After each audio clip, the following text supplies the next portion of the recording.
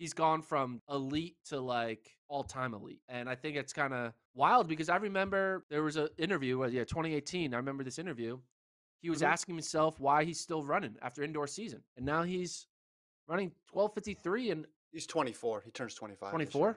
Yeah, he just turned 24. He's basically entering his prime. He's not Yeah. leaving his prime. He's Oh, yeah. entering it. 100%. So like every time he steps on the track, we might see something spectacular.